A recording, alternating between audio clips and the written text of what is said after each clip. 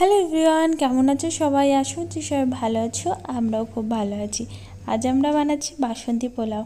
বাসন্তী পোলাও আশা করছি তোমরা সবাই খেতে ভালোবাসো, কারণ বাসন্তী পোলাও খেতে ভালোবাসো না, এরকম খুব কম মানুষই রয়েছে।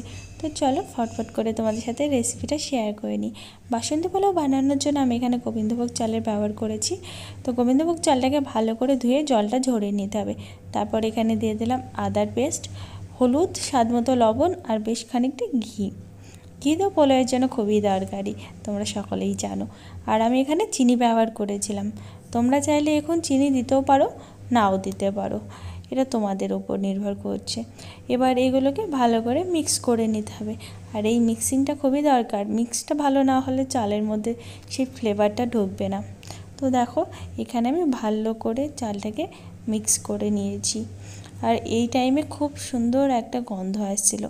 যেটা বেশ ভালো লাগছিল। তো আমার চালটা পুরো মিক্স করা হয়ে গেছে, এবার এটাকে ঢেকে দিলাম। এখন এটা 30 মিনিট মতো থাকবে এইভাবে। তো এদিকে চালটা আমার রেডি হচ্ছে, আর এখন আমি কড়াতে দিয়ে দিলাম ঘি। আমি এখানে ঘি ব্যবহার করব, কোনো রকম তেল ইউজ করিনি। ঘিয়েতে পোলাওটা করলে খুব সুন্দর হয়। তো এখানে ঘিটা গরম হচ্ছে, এবার এতে দিয়ে দেব গোটা গরম মশলাগুলো। সব প্রথমে দিলাম এখানে তেজপাতা। একটু কাঁচা লঙ্কা এক পিচি দিয়েছিলাম, আর এবার এটাকে দিয়ে দেবো গোটা যে গরম মশলাগুলো হয় যেখানে রয়েছে এলাচ, দারচিনি, লবঙ্গ আর কি হয় গোলমরিচ। তো তারপরে ওটাকে ভেজে নিই এটা আমি দিয়ে দিলাম কাজু আর কিশমিশগুলো এবার এটাকে হালকা একটু ভেজে নেব, হালকা একটু ব্রাউন হয়ে গেলেই হয়ে যাবে। তো দেখো এখানে আমার কাজু কিশমিশগুলো ভাজা হয়ে গেছে আর কিশমিশগুলো একদম ফুলে ফুলেও গেছে তো এখন এতে দিয়ে দিলাম আমরা মিক্স করে রাখা চালটা। এবার চালটাকে দিয়ে ভালো করে এটা ভাজতে হবে। কারণ ভালো করে না ভাজলে চালটা যখন পোলাও হবে না তখন ঝরঝরে হবে না। তো এটাই ভাজাটা খুবই ইম্পর্টেন্ট তো চলো, এখন আমরা চালটাকে ভালো করে ভেজে নিই। আর এই যে দেখো, এখানে আমার চালটা ভালোভাবে ভাজা হয়ে গেছে। এবার এতে আমরা দিয়ে দেবো পরিমাণ মতো জল। জলের পরিমাণটা কিন্তু অবশ্যই ঠিকঠাক রাখতে হবে।